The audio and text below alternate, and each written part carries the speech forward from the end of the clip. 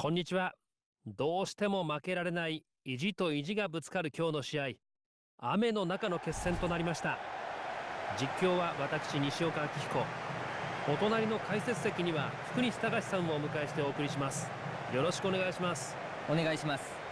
福西さん芝もボールもとにかく滑りやすいというあいにくのピッチコンディションとなってしまいましたがこういう日に注目するポイントはありますか？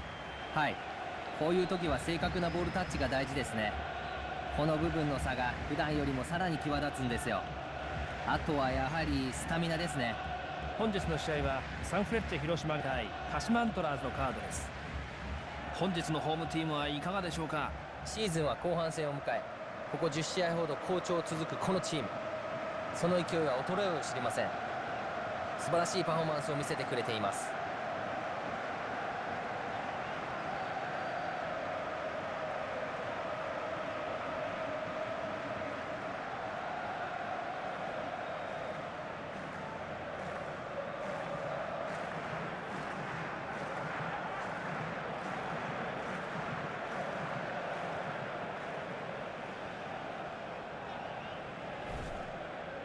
こちらがホームチームの先発メンバーです。攻撃的な451ですね。ボールダッシュが鍵になります。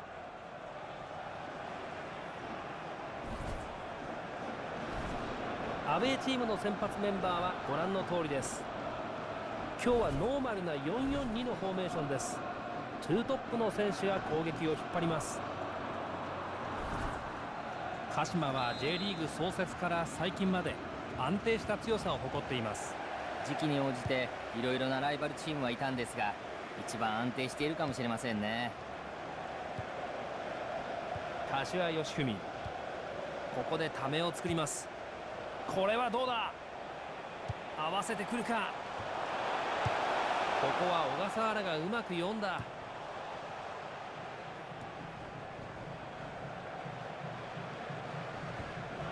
遠藤康西大吾。横に振ります。今日は面白いマッチアップになりました。ポストチームはリーグで最も失点が少ないチーム。一方ビジターは今シーズン最も得点を挙げているチームです。監督の目指すチームの方向性も全く異なります。どうやってお互いを攻略するのか戦術面での違いも気になりますね。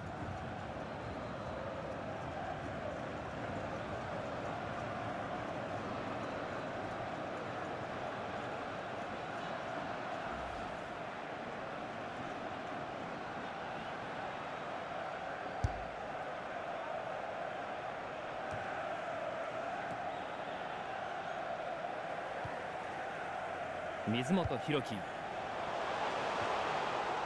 小笠原光雄ボールが足につきません。ルーズボールだ。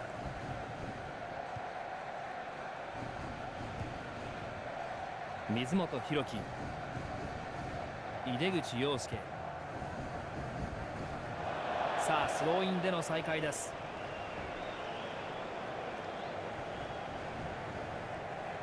遠藤康三沢健人。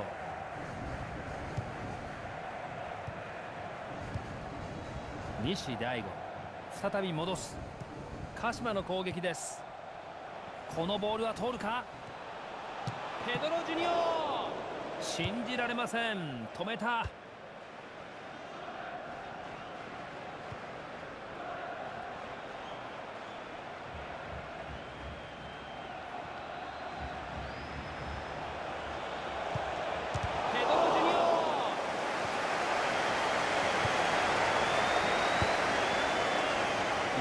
陽介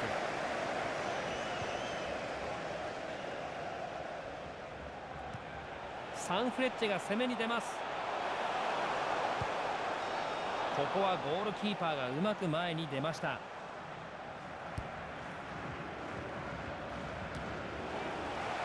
ヘッドでパス。どうする？これを決めればリード。がっちりキャッチです。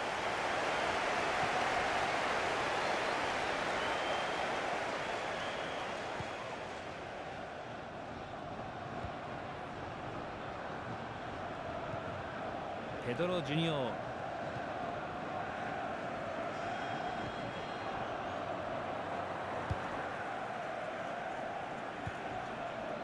これはもったいない。ボールを失いました。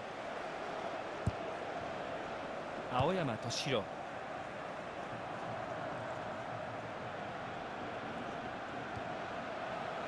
広島の攻撃です。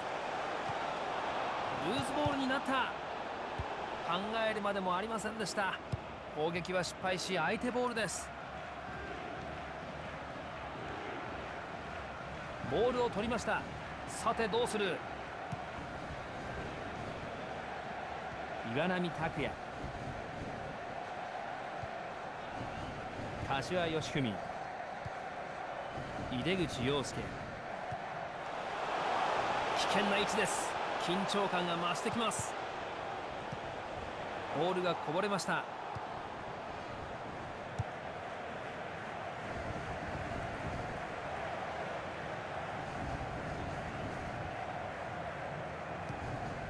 三沢健人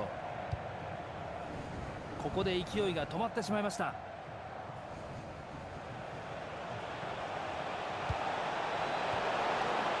こはボールをダッシュしました。前半終了して0対0両チーム無得点で折り返します。福西さん前半のポゼッションに大きな差は出ていませんね。はい。前半を見る限りシュートの数も同じくらいでしょうか。ここまでは五分五分ですね。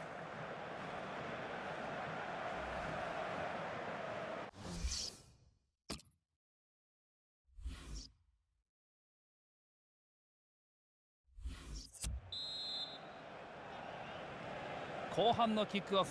今度はアントラーズボールです。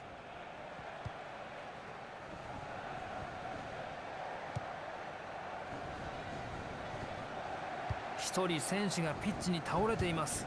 肉離れでしょうか。小笠原光雄。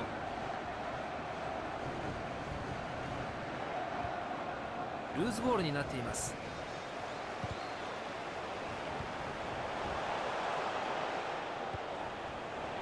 チャンスを狙っています。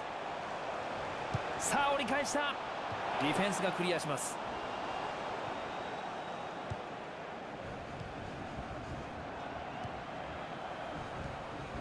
三沢健人遠藤康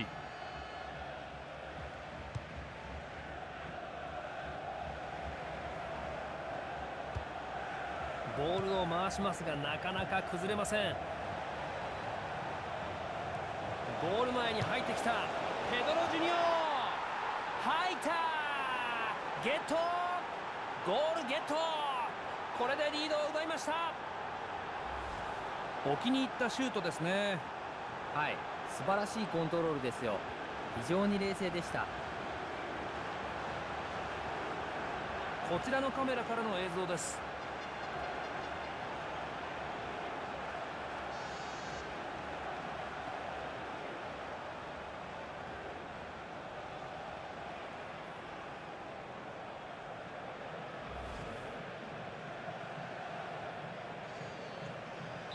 ここから試合が慌ただしくなってまいります。柴崎康生ボールを回して味方の上がりを待ちます。決めれば同点。2番大輝きたゴール決まった軽率な失点でしたね。点を取った直後には気持ちが緩みがちですがそこを突かれました。果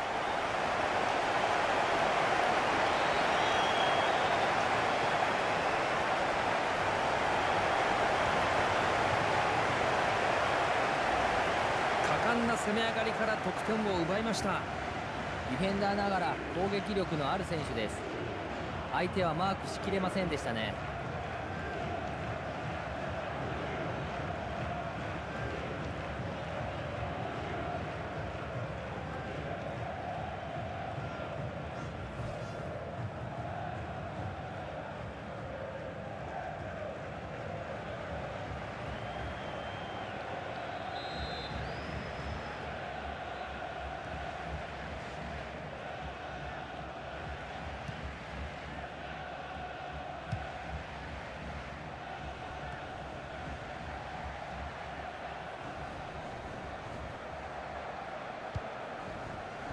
さあスタ審判試合を止めます。ファールの判定でフリーキックです。この交代で流れを呼び寄せることができるでしょうか。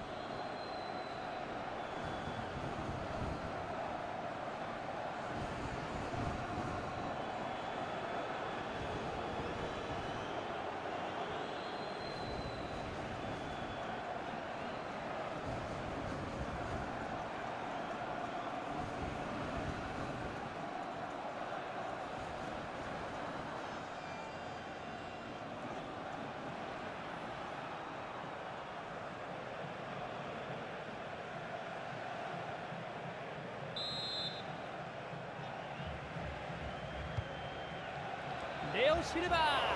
キーパーにボールが収まります。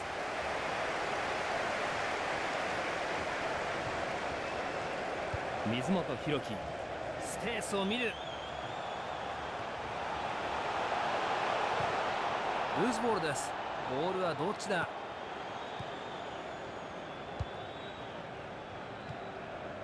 遠藤康西大吾。小笠原光雄鹿島の攻撃です。ボールを回してチャンスを伺います。クロス来た。ボールがちょっと乱れました。ここでラインを割ってゴールキックに変わります。ここで中村敦隆が入ります。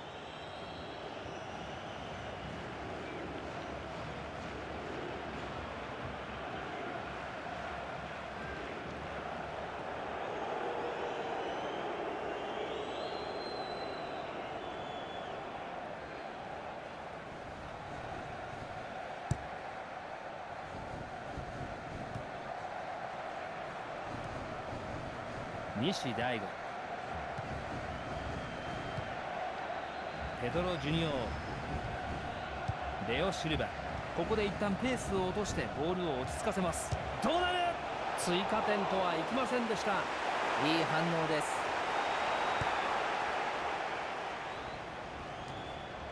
柴崎康生ここは庄司がうまく読んだ。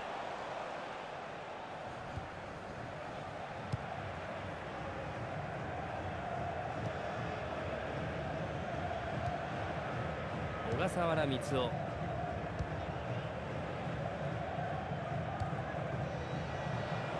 パスが華麗につながります。これは大きなゴールになる。このまま両チーム集中を切らさずにドロー決着となってしまうのでしょうか。守備が軽かったですね。西大吾シュートは惜しくも決まらず。こういうチャンスをしっかり決めておきたいですね。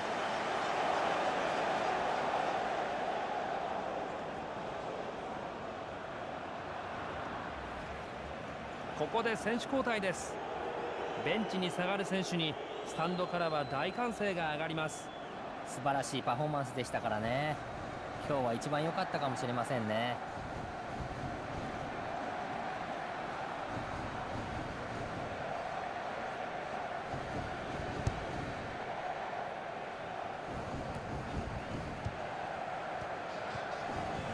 水本弘樹。